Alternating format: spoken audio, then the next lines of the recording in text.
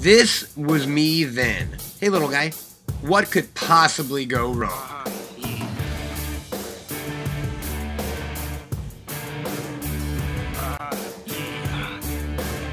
Believe it or not, me and my younger, much cuter self still have one thing in common.